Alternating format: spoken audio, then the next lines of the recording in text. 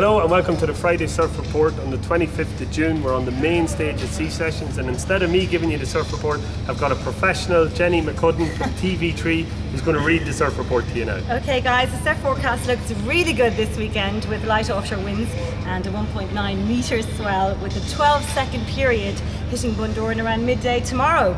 Most of the reefs around Bundoran will be working from Saturday afternoon to late on Sunday evening although the outlook for the week is small surf. Uh, the wind is perfect, so there should be some nice clean sessions on Tullan Strand. There you go, enjoy. There you go, now you heard it from Jenny McCudden, so it must be true. uh, guys, anybody coming down tomorrow, don't forget there's the expression session tomorrow afternoon where the winners of the Bundoran Bull Rider competition in the morning get to go up against the best surfers in the country. So we're really looking forward to a weekend of surf and music in Bundoran. See you enjoy. next Friday.